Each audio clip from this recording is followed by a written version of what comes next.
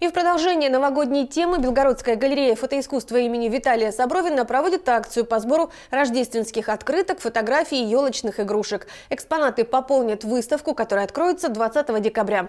А тех, кто поделился своей историей в сюжете Дианы Калединовой. Поздравляю вас с новым 1955 годом. Открытое праздничное письмо с подобным текстом, пожалуй, хранится у каждого. В личном архиве Александра Дорогана таких несколько сотен. Свою коллекцию он собирает с самого рождения. Помимо советских советских открыток есть фоторепродукции 1898 года, а также поздравления на немецком языке. У каждого экспоната своя уникальная история. В нашей квартире, ну там не квартира, по сути дела домики, это была улица Ворошилова, 6, там жили и находились немцы. После их изгнания из Белгорода остались вещи какие-то старинные, их, их вещи, оружие там, прочие. И, в частности, после возвращения в августе-сентябре моих родителей, вот оказались эти открытки. А еще Александр Дороган ведет настоящую фотолетопись Белгорода. 17 лет фотографирует городские пейзажи, памятные места и людей. Часть снимков тоже принес на новогоднюю выставку в галерею фотоискусства. Все, что изображено на фотографиях, на, ну, на фотооткрытках, они могут быть рисованными, они могут быть чисто фотографическими, да, или же какими-то способами отпечатаны. Это отражение своего времени. А раз это отражение своего времени, то для любого интересующегося прошлым, своей семьи, своей э, родины малой, это интересно. Это прежде всего интересно. И это познавательно, и это поучительно.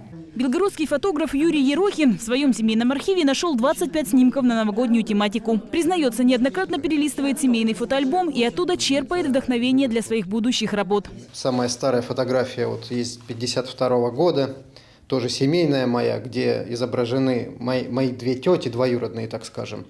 Вот.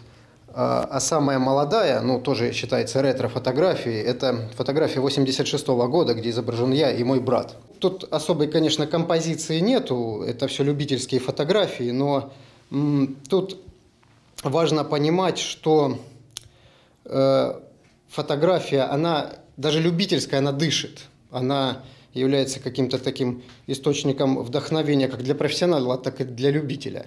Преддверии Нового года галерея фотоискусства имени Виталия Собровина проводит традиционную акцию по сбору рождественских открыток, фотографий и елочных игрушек. Десятки белгородцев в ней уже приняли участие. Организаторы ждут еще больше интересных экспонатов, чтобы в деталях изучить историю любимого зимнего праздника в Белгороде. Если что-то в архивах белгородцев осталось, то можно это принести, это все потом вам вернется, но сначала все это превратится в маленькую такую комнатку эхо прошлого, такой маленький новогодний праздник. Наша акция проводится до 12 декабря. Мы с удовольствием примем все ваши экспонаты, э, раритеты, ваши, то, что вам дорого и ценно. Выставка «Новогодняя история» фотогалереи имени Собровина откроется 20 декабря. Диана Калединова, Дмитрий Ерема. К этому часу Белгород.